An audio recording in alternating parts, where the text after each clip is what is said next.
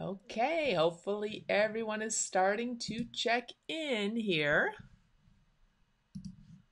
It's Monday. I see we have some thumbs up and some hearts, possibly. There we go. There we go. Okay, so we have, I'm not sure if people are checking in or if these are old ones. Uh, uh, Heather is, oh, it looks like a couple people are checking in. Okay, Heather from Australia. She has a cup of food and half the housework done. Woohoo! All right, that, that's in the win column. Definitely. Marcy's checking in. Michelle's here. Excellent from Colorado. What a gorgeous day we had today. Oh, I, I I get nervous when we have gorgeous days because uh, I know winter's coming because it just comes, but you know, it's after it's it's still warm outside. Uh, Sue from Sully, sunny Melbourne's check in. One of the sisters, Nancy from Illinois, fabulous. Uh, Kim from Arkansas. Pam, you forgot I was on tonight. Well, well, I'm glad you made it. Glad you figured out. Happy Labor Day from Texas. Thanks, Becky. I had a great Labor Day. Rested, relaxed. It was kind of um chill out day.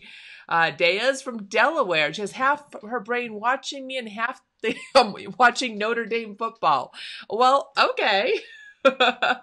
um, Pat from Connecticut, Linda from Pennsylvania, uh, Joe Rita's be able to check in. Um, where someone was not able to make it today. I think Joe Rita, you were not able to make it last time, but you were able to come in this time. So excellent. Oh, Kim got most of her long list. Oh, you should have seen Kim's list on the other group. Oh my goodness gracious. Her to-do list was gargantuan. Uh, Christina's checking in. I'm going to see you in a week or so.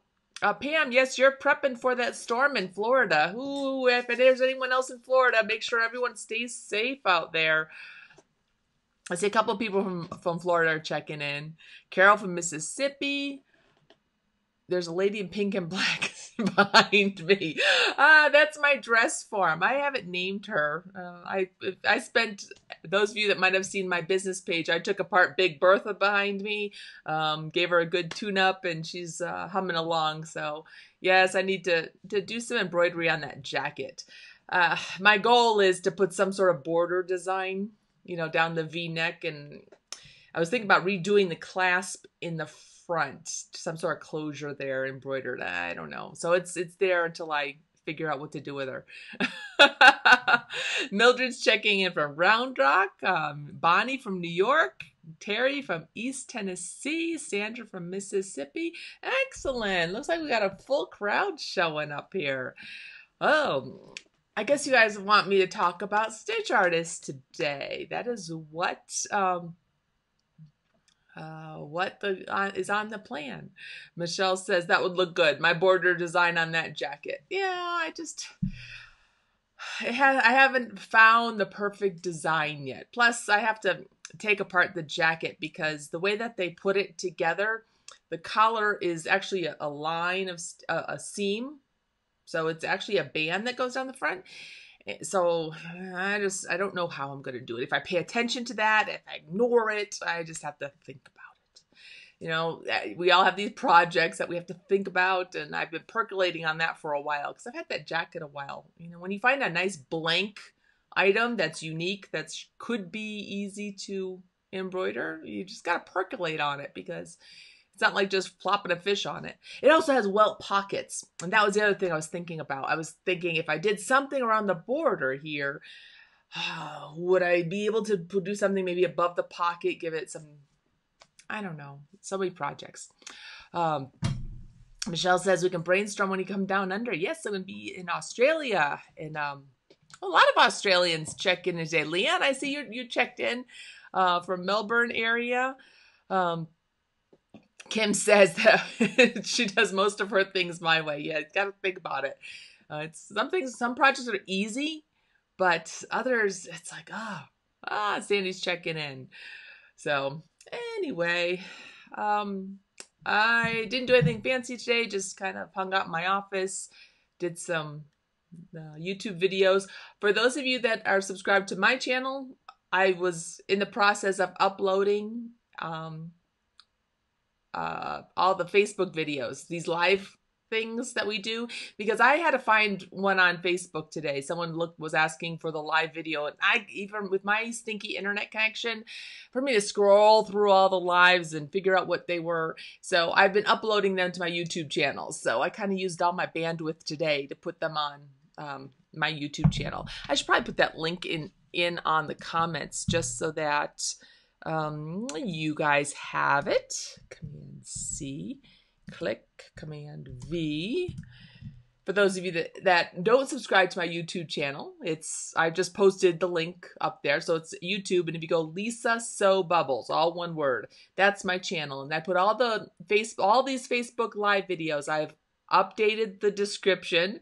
So hopefully you can just scroll through and figure out which one does which because I do a different topic all the time.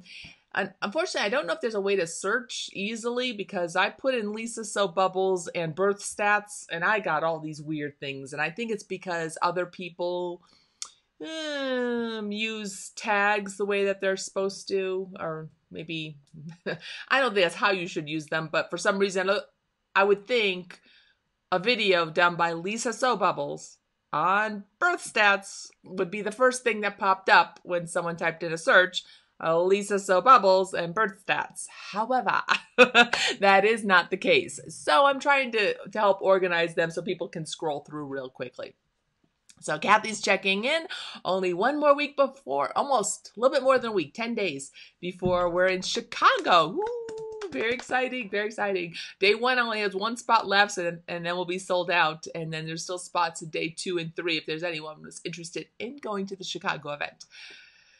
Oh, but I digress. Today we're going to be talking about StitchArtist and how to create a two color motif border. So we're going to be using the motif run, not a fill. So not a box, uh, not a, like a, a filled region but like a an outline, like a frame. And you know we can use motifs. Well, I'm going to pop on over the software and show you.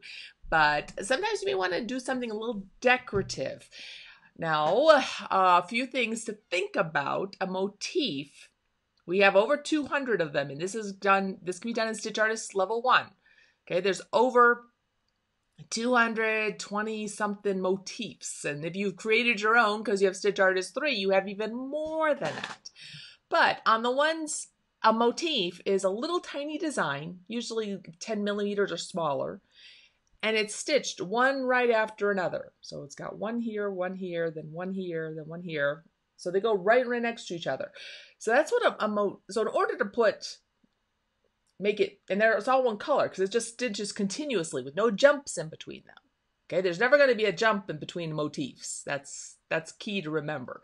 So there's never going to be trimming between motifs because that's not how they work. So in order to have a two color motif, you have to space them out and overlap them so they stagger. So let's head on over to the software and I'll show you what, what, what I mean by that. So let's see if we can do this correctly. Ooh, that was a great face, Lee. So uh, we don't need to see that. Okay, do we have everything here? Yes, let me minus this down. All right, so everyone sees my software here, right? These are some examples of two color motifs that I have. Okay, so as you can see, it's the same exact pattern, one right after another, but one is on the outside. We have one is green, one is red. This circle, one is yellow, one is blue, and on the hearts, one is pink and one is purple. So you can do this. Yes, someone's going to ask, can you do this with three colors? Absolutely. You're going to basically do the math and work it out. You're, um, but um, we're going to work on two colors today, okay? I like these these videos that I do here for you are to give you inspiration to go one step further in your software. So I don't need to show you how to do three. Once I show you how to do two, you can go off and do 10 if you want to. Um, I don't know if 10 colors possible. And, and, but I digress. Let's go and see what how we can do these. So the first one, let's just go and start a brand new design page. And I'm just going to draw a line with points. Now, I'm in StitchArtist level two just because that is the more. Can you do this in level one? Absolutely. But I'm. Mm, I like to work in level two just because in case someone says, Ooh, what does two do that one doesn't? I can pop over. It's in the middle. So we'll be doing this level two.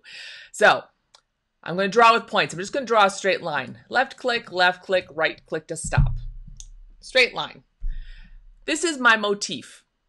So where it says where my mouse cursor it says motif run. When you choose that, it'll, let's see, I'm going to remove this. The default is to see nothing. And you have to add motifs. So when I click on the add button and go to my, uh, mouse is going to misbehave. I have a finicky mouse here and it sometimes misbehaves on the videos here. So let's go to this up here where it says squared ones because these are kind of a little bit easier to uh, pay attention to. So I'm going to choose squared number three and I'm going to click OK. So this has filled a line with motifs. And you see they're one right after another. In our properties, your squared motif, it has a height and it has a width and it has a gap. So each one of these little squares, and we're going to zoom in and look at this. Each one of these, this is what's pointing at. This from this point, this needle point right here to this needle point right here. Okay, so this left to the right. This is one motif. So when you have this selected, the height is up and down, the width is back and forth, and you can actually change these values to be bigger or smaller depending on how, how what, what it is that you want your pattern to be. But you can also change the gap. So if I, let's see, just for ease of sake, I'm going to change this to 6 and I'm going to change this one to 6. So we have two equal numbers, okay, without doing points. If I change my gap in here to 6 as well, do you see how it puts a space in the middle?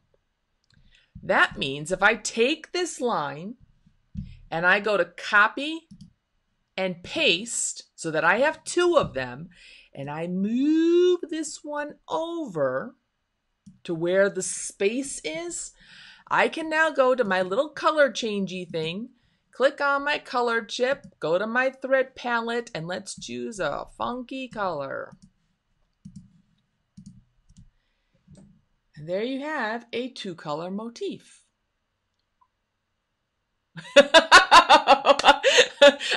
All of a sudden I get mind blown from Michelle. when you when you break down a project into really small bite-sized pieces, you're like, "Oh!" Now, before anyone asks, yes, they're motifs. So there's going to be a connecting line on top. This red line is on top of the green line because it stitches afterwards. If we zoom out that's the actual size or close to it of our motif. If anyone's paying attention to that little red line in between them, they could have used just a solid color motif. They didn't need a fancy one. Okay. That's too close. You don't need to be that picky with that stuff. Oh, Cindy's going home now. Woohoo! I know sometimes when you explain, when you break down these things into just little tiny bite sized pieces, oh, just wicked cool. Okay, so this is on a straight line. Now, whoopsie, where'd I go? Don't want to lose this. We have these new shapes that are in StitchArtist that let you draw things like the circles or the squares or anything like that. So let's try a circle with the same type of things. I'm just going to click hold and draw my circle.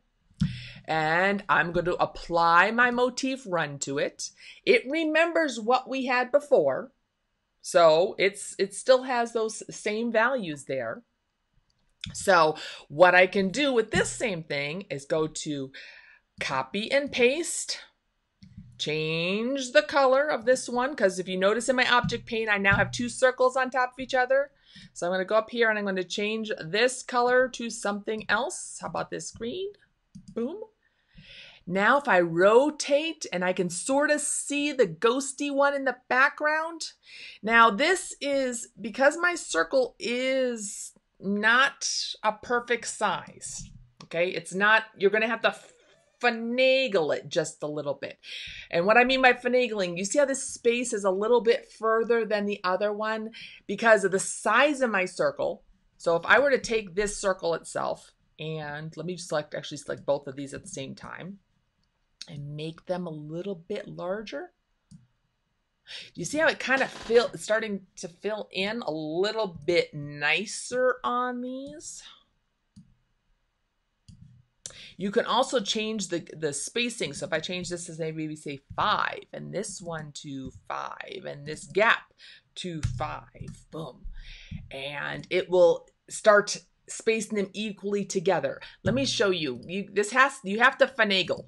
Okay, that's that is the law. Now, first of all, what I did with this one here, this is squared three, so same thing. It has uh, 5.6 with this 5.2. My gap is only two. So I didn't make them, I was playing around with this. And the same thing is with on this guy right here, which is the next one. He's 5.6, 5.2. So my gap isn't the exact size of the motif because this is a circle and if you notice some of them are touching a little bit on the bottom some are almost touching on the top. It's not going to be perfect because it's got every single motif on it has to be the exact same size okay? So you have to choose your motifs wisely when you're going around this circle. Squared ones work, work really well. The dots work nicely except if you notice they're solid color so you just have to accept that there's going to be a solid line going across the top. Now, the way I did the heart, if you happen to look at my object pane here, do you see I have actually, whoopsie,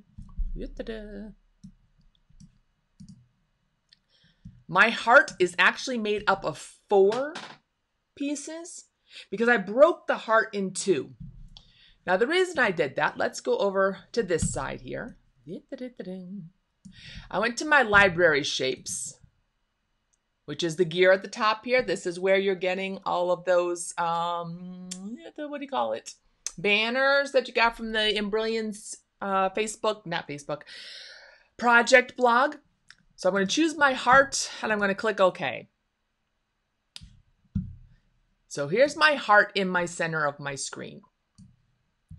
Video is gone. Well, luckily for you that this is recording, so you can catch it on the flip side. Now, I have my heart on my screen and I need to break it into two pieces. The reason I want to do that is because if you have a shape that has these, um, the cusps, you know, whether a V point, and you try putting a motif on this, and I'm going to delete, remove this one and click on add and put the dots on. So that was under the satinish, I think. There should be a satiny circly typey thingy, possibly. I don't know how big that one is. There we go, satinish 4. That's a nice size one. Okay. When you have your, well, the dots actually look okay, but if you can sort of see on this, they overlap really, really close in together. And sometimes the dots actually work really well. When I did my other example, they didn't look that great. So sometimes when you go and choose a different motif, let me choose one that's not um, so perfect, like this. Actually, that's actually not too bad either. Except that here, see on the top, it, it overlaps a lot. So you're going to have to make some choices on the motif that you chose. When I was playing with the squared motifs, they did some really wonky things at corners. So the reason I split it up was because I was getting wonky things at corners. Um, the other thing is when I I also wanted to have it just be solid and solid. Do its two shapes separately so I didn't have to worry about it. So let me go and take this artwork again. I'm going to show you how I break this in piece. First thing I'm going to do is I'm going to select this node here at the bottom, which is the red node. When you have something selected, you see the red node here on the very bottom? That's the op where it's that's the open close node point. Okay, so when I have that dot selected, I'm going to click on my little open button because that's going to open this. And I'm going to move it just so that you can see. See how it broke that in two pieces? I'm gonna put it back on top of each other so that they're together. Now at this one right here, I'm gonna select this one and say break at point. What that does is it breaks my object into two. Okay, so I now have this one heart on, on one side and the other heart on the other side. So that allows me to I think I have more control. I know I have more control. If you end up in a situation where you need more control, I just showed you how to break your object into two so that you have two halves. So I'm basically going to do the same thing that I did before. So I'm going to go and have, have motif. I'm going to go to where it says remove and add my dot back in. That was Satinish 4, wasn't it? Click OK. I'm going to change the gap in here to be further apart so that I have my space in there. I'm going to copy and paste it. Copy and paste. So I have my second one. I'm going to change the color of this one. Let's make it a lighter pink here. And I can't, like when I was doing before with the line, I just moved the line back and forth. I really can't do that with this because if I move it up, it separates it. If I move it this way, it moves it out of whack. I, so I can't really do that. So what I have to do is take this little endpoint here, whoopsie, and move it whoopsie Let's go up with this one. Do you see how it's moving into place? I kind of have to reshape this so that it fits properly. Dee -dee. Yes, I see some people have to check in to move later. I need to move my spacing a little bit, probably because three point two enter so that they're a little further apart. And I need to move these guys around just so that I can get my motifs in the way that they're supposed to. Now, when I go back to the first one that I had done here, oh, I had actually changed them to be really smaller. That's why, why it's working out so much better. My gap was a little larger on it. So let's see. Gap 3.2 Let's do 3.5. Ooh, already starting to look better than that. So this one's had to go up. And I'm going to reshape this. Yeah. And I know your refresh is kind of weird on your side. Well, it's kind of weird refreshing on my side as well. And I'm moving. My mouse is misbehaving. I'm moving the wrong ones. Do you see where I'm going with this, guys? I see some people are checking in late. Some people are losing the feed. So I'm sorry about that. This one was 3.7. Let's go back to this one and change this to 3.7.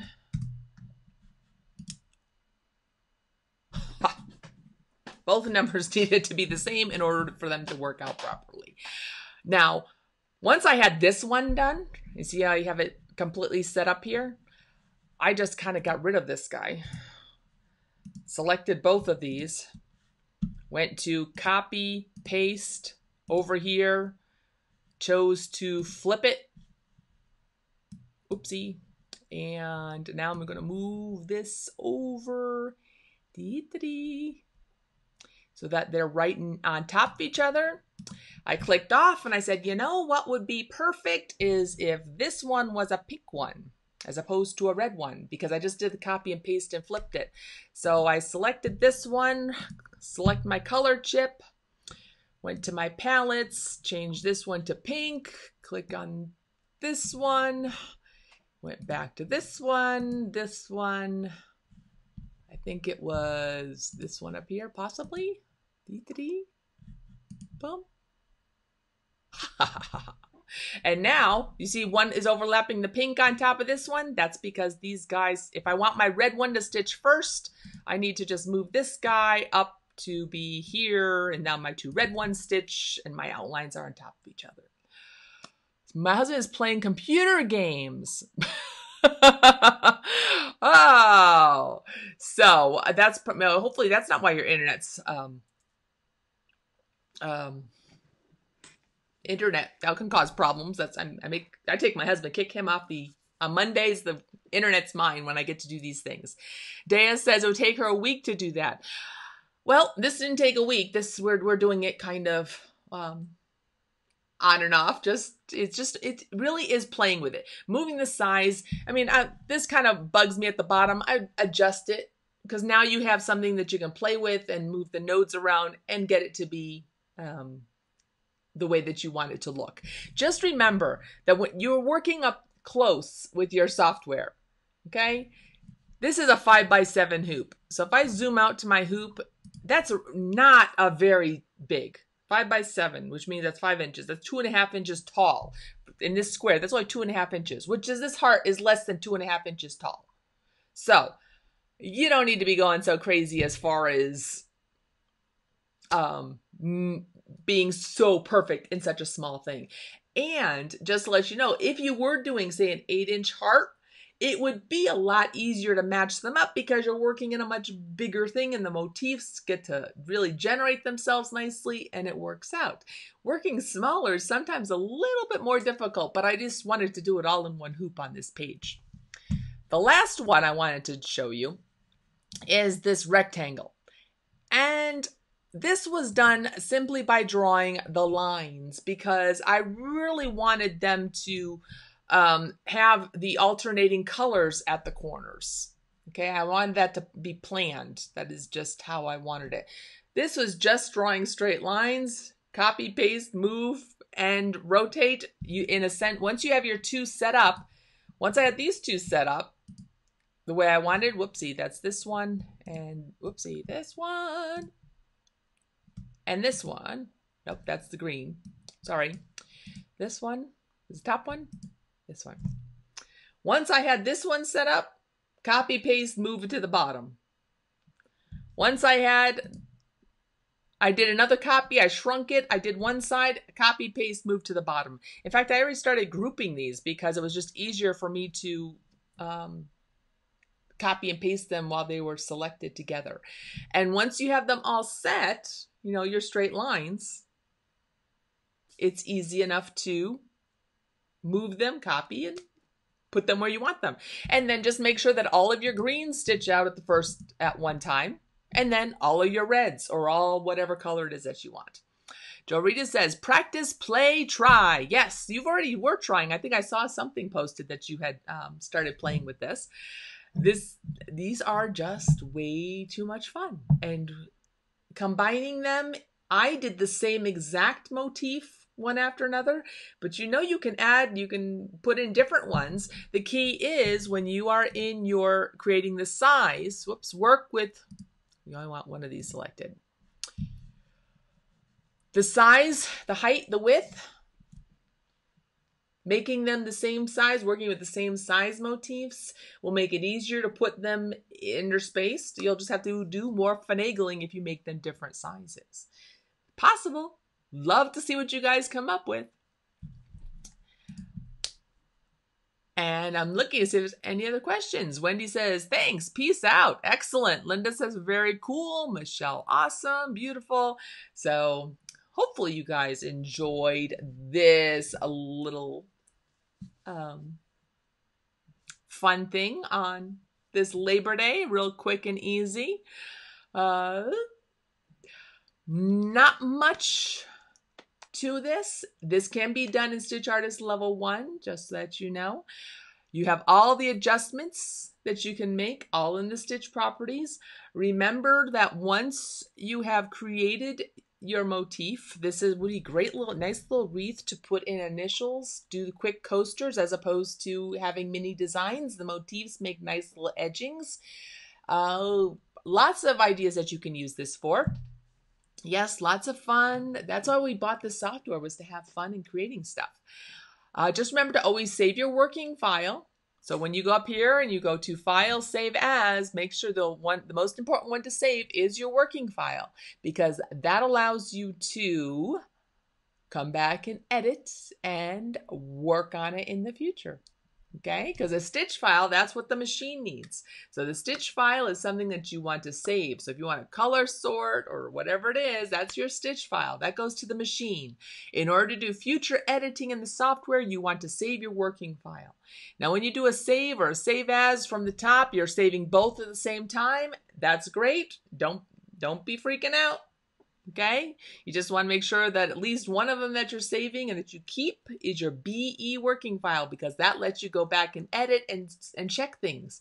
Because like I like you saw when I was going in here and trying to remember what numbers I used, all I have to do is go back into my BE working file, collect, select one of the motifs that I'm looking at, and it tells me the size and the space and everything that I'm uh, working on. Excellent. All right. So people love playing with the program. Cindy says, thank you for working today. I love what I do. This is fun. And plus I have Chicago coming up in a couple weeks. And I know that once I'm in Chicago, I will not be having a live at that time. So I'm kind of making up for it now because I won't be doing it then. Uh, Kim's has to get back to uh, her working Getting back to working miracles on a pair of pants for a girl in a junior ROTC. Oh, fun. We're working miracles. That usually sounds like trying to take in a waistband or put out a waistband or hemming lots. Working miracles. Uh, not my idea of a good time. So, uh, yes, try waves. That would be fun. Try all sorts of things. Um, this is just, I'd like to give you guys an idea so that you can play. Um, Thank you for taking time from your holiday and spending it with me tonight. As I mentioned, all of my previous ones, or I'm working on it, trying to get them uploaded to YouTube so that we can find them easier. But they've all been recorded, so you can get them at any time that, from there.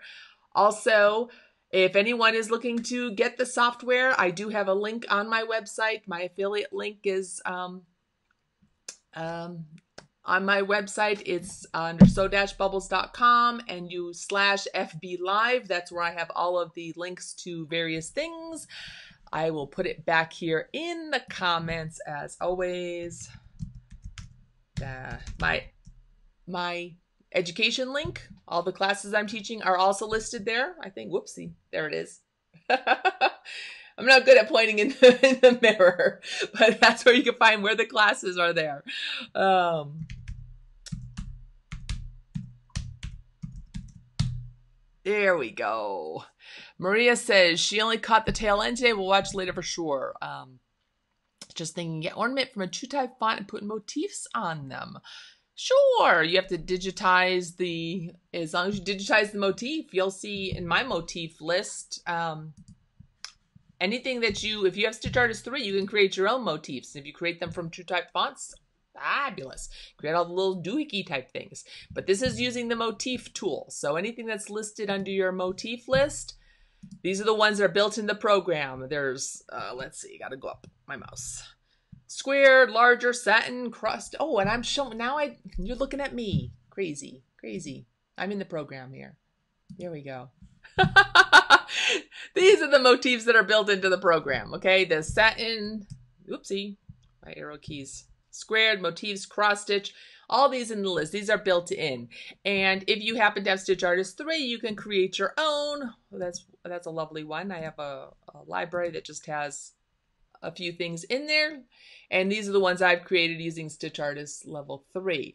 If you want to know how to do that, create your own motifs, you can go to my YouTube channel because one of the lives I did from, oh, a couple months ago was on how to create your own motifs. And that has been uploaded. So Ah, excellent, excellent. So this will be this is something fun to play with. Something very fun.